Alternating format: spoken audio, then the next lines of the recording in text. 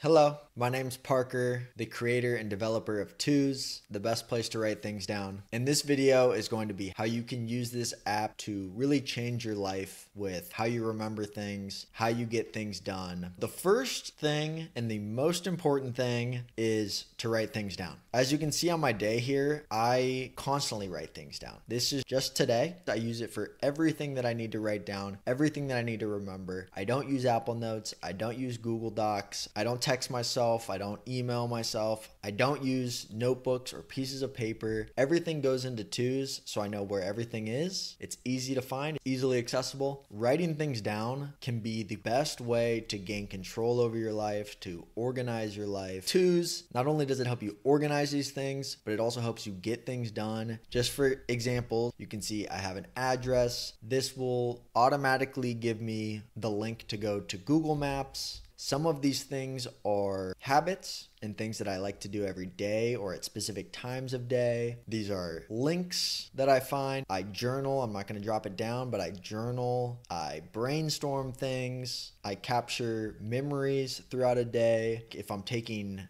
notes on a book on my phone, I'll use the little scan text thing, which I'll probably put a short video up here. Whether you're writing it down, you're using Siri, you're, you're using our WhatsApp integration, our text integration, our email integration, the most important step to being a Twos Pro is just writing things down. The second most important step is to make lists. So Twos is a list app. We give you a daily list that's called today. You get a day for each week, and these days are just lists of things. You'll also want to create lists for anything. It could be a list of goals that you have. Here are my resolutions for 2025 or resolutions for 2025. You can see I have that within a resolutions list that has my resolutions for years in the past. But you can create lists for anything. Some of my lists here in the side menu, I made a list for this video. I have a development list. This is a kind fellow that I am meeting with tomorrow. I wrote down some questions that I want to ask him. Current priorities, those are just life and work related priorities. Things that I want to do this week, people and things that I want to pray for. You'll have your own lists of things that you want to organize, your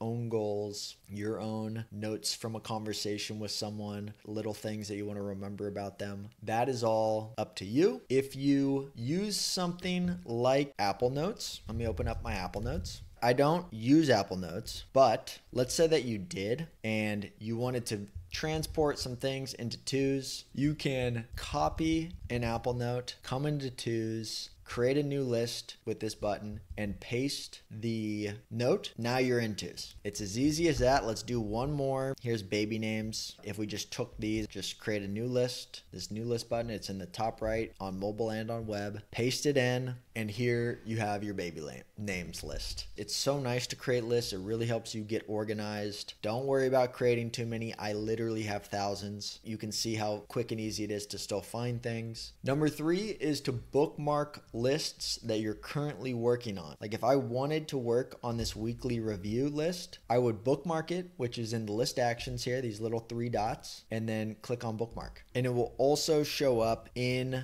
your side menu. Here it is at the top of my side menu. When you're done with the list, when you're done using it, like if I finish a book or I finish this video, I'm gonna unbookmark this list. Then you can remove the bookmark. But that is a great tip for keeping the list that you're currently working on easily accessible. Number four is sharing, and there's a lot of different sharing options. But in twos, one of the really nice things is being able to share a list with anyone. It's much easier than Google Docs or Apple Notes or anything like that. All you need to do is come to the list actions, click on this share list icon. Here are some of the options. You can copy the link, which will make this list public, you'll see this little shared icon above it. And if you want to turn it off, you just hit this again. You can copy the link, you can send the link via text message, you can copy the text of a list, you can print a list, you can share it to other platforms. You can also export a list in list actions, share list, and then do as and you have some options as an image as pdf as a text file as a markdown file you can also just copy the markdown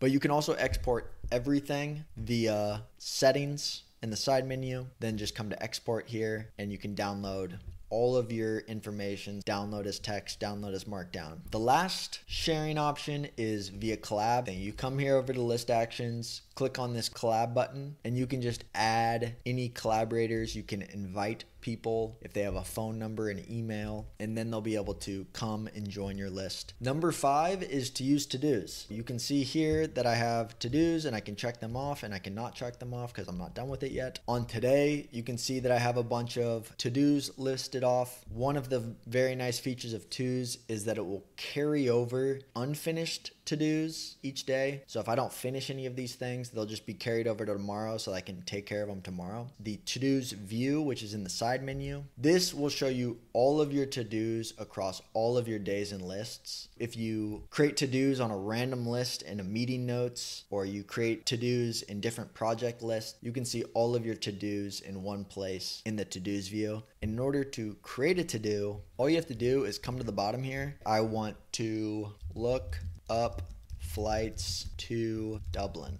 That is a to do. That's something that I want to do. And I could come over here and click on the dash and turn it into a to do. But we also give these automatic smart suggestions based on the things you write down. Over here, we'll see smart suggestions. And the first one is turn it into a to do. We also see viewed on Google Flights or on Expedia. I'll talk about that later. But you can just use the smart suggestion to turn that thing into a to do. The next tip is going to be using stars. If bookmarks were a way to mark a list as important. A star is to mark a thing as important. So maybe it's not something that you need to do, but it's something that you want to remember. Let's take this changing App Store title and subtitles as well as screenshots. Maybe this was something that I wanted to remember over a long period of time, but not on a specific date. I would star this thing, and to do that, you just click on the dash and then click on star. If it's a to do, because if you were to click on it, it would check it off. You can long press on a to do to turn it into a star. The last way is just to select something, come to the edit button, and then click on the star button here. You'll be able to see all of your stars in the stars view in the side menu. The next tip is going to be using tags. We went a long time without them, and that's because the search is really good where you can just search keywords and find things. But if you want to tag things across days and lists, the example is this Chrome tag. So if I save anything from our Chrome extension up here, they'll automatically tag Chrome, which we can see some of my tags tags. Here I have a tag for Chrome. I write down stories, what I'm grateful for. There's some more up here. You can tag anything. It's an easy way to find things across your days and lists. The next tip is going to be using auto date detect to set reminders. So, what that means is rather than opening up your calendar app and going through the process of creating a calendar event, or rather than opening up your reminders app and going through the process of creating a reminder, you can just open Twos up and you can say date at Oak in Ola tomorrow at 6 p.m. So you just write down what you want. You could say send metrics email every Friday at 4 p.m. You just write it down and you'll get these smart suggestions over here. You click on those. Not only do you get the Google Maps to get to the restaurant, but you also have these quick add a reminder or add it to your calendar. And all you do is you click on that button. For the metrics one, we'll have Friday at 4 p.m. every week. You just click on that. If I wanted to add it to my calendar, I could add it to my calendar with that button. These reminders will show up on the days that we want to be reminded of. So tomorrow, we'll see dated Okinola, 6 o'clock. And on Friday, we'll see send metrics email at four o'clock. And this is also potentially a to do. So I could turn that thing into a to do. And then I could check it off. It's basically a recurring task. You can do it for birthdays. So if I learn Joe's birthday is on Christmas Day or December 25th, it'll do the same thing. A yearly reminder, but then it'll also allow you to send a text message to them or buy them a gift card. The next is going to be connect your calendar. If we were to drop this down, we could see I have some calendar events earlier in the day, and whenever I want to join a meeting, I just click on the meeting. We'll be ready to join. But that is through the mobile app. In the mobile app, if you go to the side menu, you go to settings, and then under integrations, The top one you'll see there is calendar. Drop that one down and you can connect any of your calendars. You'll start seeing your events on your day. So this is how I join meetings. I don't even use the calendar app. I just use Twos. The next thing is writing things down quickly and then moving things. Let's say I learned something about Joe doesn't know how to cook but can still cook.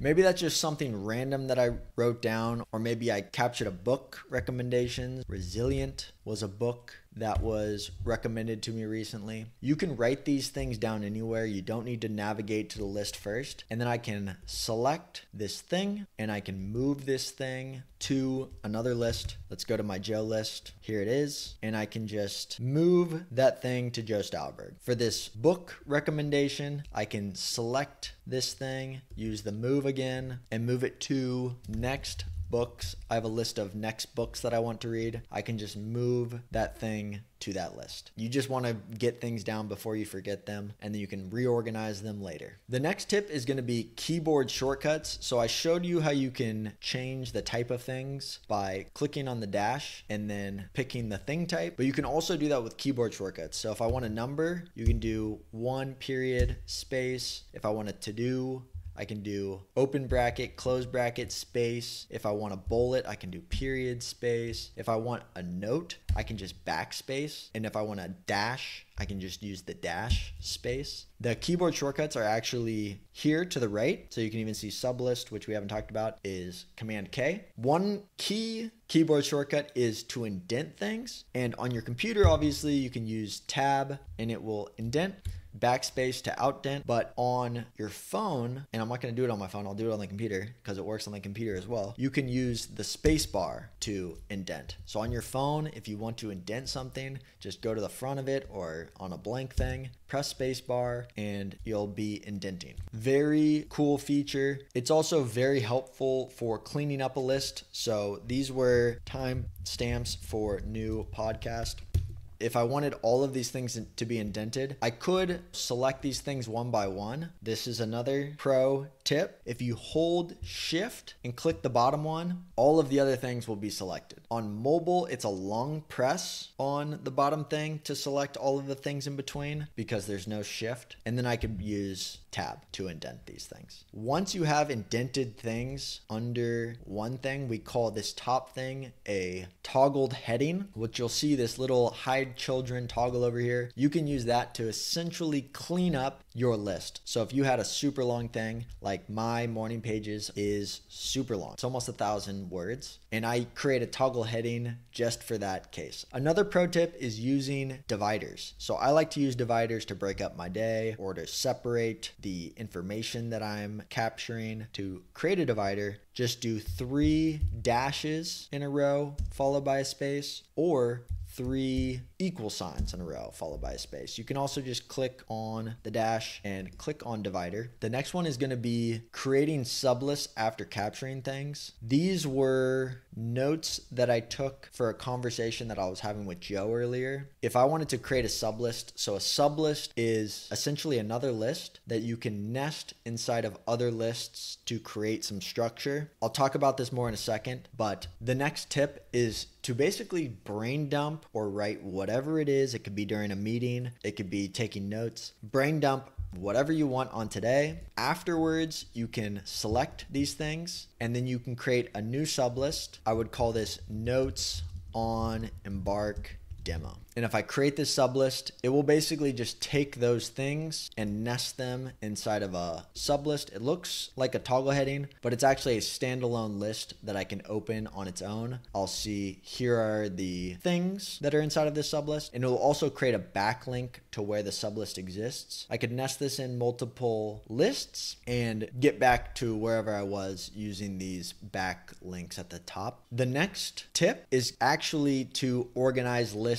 in inside of other lists. So maybe our presentation is actually on Thursday. Maybe I want this on Thursday. I could use the list actions to organize this list into another list and I would pick a day in this case and I would pick Thursday. And what we would see is this list is on today. It's also on Thursday's list. So you can organize your list like this. A good example of this for books, I typically organize them in different lists. So this list is just a part of my 24 books list. All of the books that I've read get their own sub list and they all live within this year. This year I have 2025 books list. And if I open that one up, we'll see all of these books live in my 2025 books list, but they also live inside of my current books because those are the books that I'm currently reading. Ishmael was a book that I read. It's no longer in my current books, but it is in my 2025 books list. The next pro feature is to utilize your memories view. I actually make the memories view part of my navigation bar. It is basically a history to review and remember past memories or past things you did. So if I went down to the bottom here, we'll see eight years ago what I was writing down on these days. I was reading The Rhythm of Life I was reading The Lean Startup six years ago. I was reading The Intelligent Investor five years ago. You can also check out the days and what you wrote down. It's so great to be able to remember things and revisit things. You can see I was working on the twos knowledge graph two years ago. I only have a few more tips. Using search is super powerful. Let's say I wanted to look up my goals. Type in whatever you want, you'll find what you're looking for. I typically use search for navigation. I don't typically go to my list view or go to my home view. I just use search. It's the quickest way to find the things that you're looking for or the list that you're looking for. You can search words of things and pull up all of the things that you've written about a certain topic. And the tip beyond that is to use good list naming. So name your lists well so you can find them well. Use keywords, use names, use whatever topics for things like meeting notes. For this meeting, this was with Lewis. It's in my conversations with Lewis list. But in January 10th, 2023, we talked about marketing goals. It keeps all the dates of when you created things or when you edited things. You don't need to put the date in it. It's helpful for me. Whatever is helpful for you, that's what you should do.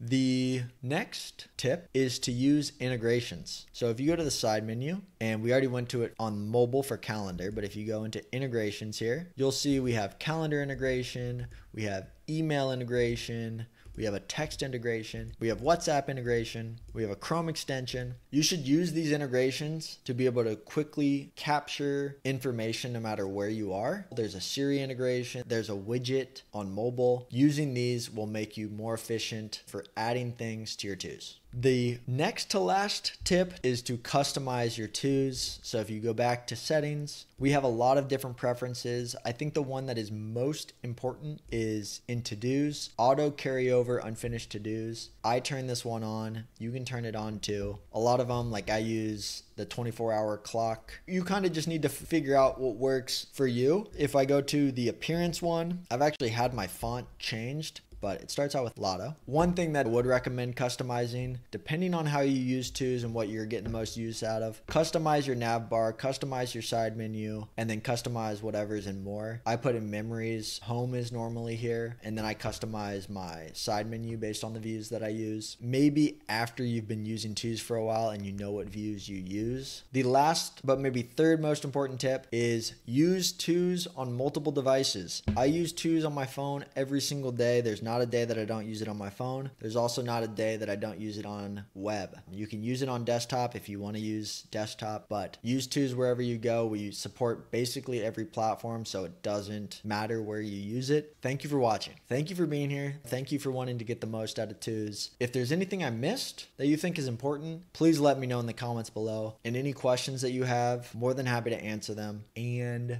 happy Twosday.